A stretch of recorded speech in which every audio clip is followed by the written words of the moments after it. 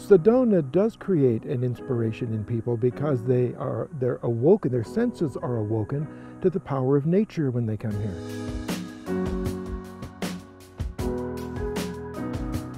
It makes me proud to see how people react that visit here. And there is a look in their eyes that they have when they see the artwork that is in this community. It's profound, it's amazing. There's a lot of artists here, and I like that, you know. I just think of all the times that I've enjoyed Sedona.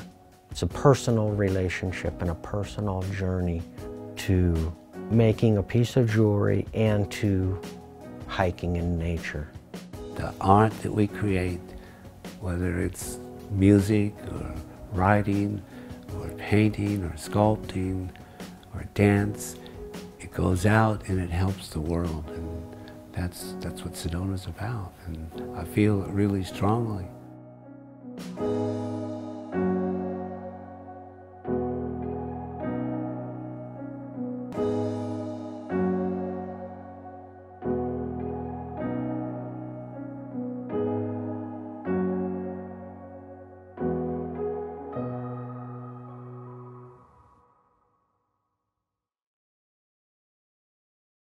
I think I've made well over 300,000 stone beads in my life, and each one is a bit of an effort to make. And yet, I haven't made one yet that I think is, that I haven't made some mistakes along the way. Isn't that amazing?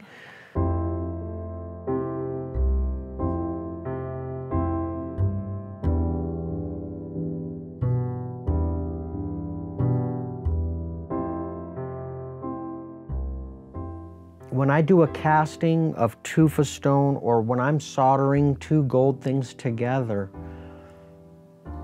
there's a chance because I have my own homemade solder that isn't very good and I have a really old torch that doesn't really put the heat where I want it and I'm having to heat up everything to accomplish this solder. I'm just sweating. It's like, wow, this is, I'm gonna ruin all my gold and be back to square one. And the fact that those tools aren't really the right tools causes all these opportunities, both in my mind, also in the piece, for new experiences to come. It's like trying to fly in a really bad plane and trying to get it off the ground and, and then land it again. That would be a very different experience than actually getting into a competent plane that has a good track record of getting from A to B. I always get in the plane that's never been flown before and really doesn't have the wings put together right. And then I come up with a piece of jewelry at the end. And so that to me is, I don't know, endearing or innocent as that is, it's the value of unpreparedness coming to light again and again in my life. I wasn't really ready for this interview. I wasn't ready to make that ring yesterday, but it's like I'm still doing it.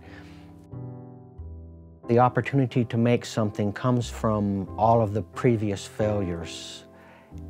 So you just get in there and you try. And if it doesn't work, don't get so hung up on that. Just go, the reason it didn't work is because I made this mistake. Go to the next one and do the next one. Don't, you're not gonna fix that first one. You just have to get a few under your belt and keep going.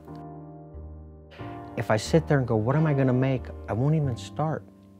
So I just start making something and I don't even know what it is. And usually it, it morphs into something else or it gets put aside as I get calm and in my groove.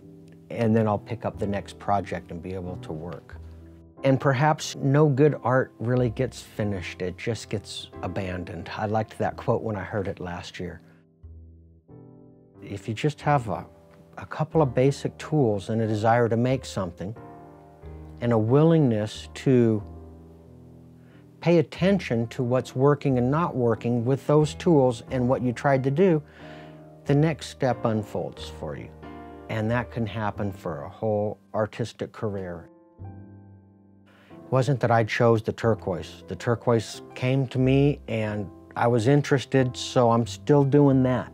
It might be something different in the future, but right now it's turquoise jewelry for 25, 30 years now. just start it. If you want to be a potter or if you want to be a wood bowl turner, just turn a wooden bowl. And if you don't have the right tools, you could get a really, really tiny piece of wood and make a really, really tiny little bowl. And you could do that right now. And then you'll know what to do after that. But don't dream that you want to be a bowl maker and not make bowls. You just make make really bad bowls. Make 500 really bad ones, and then maybe you'll make a good one. But if you just want to make something and you think you need an education or the right training or the right environment, I think you're mistaken. And you'll never be able to fly on this journey of trying to land that plane that doesn't have very good wings.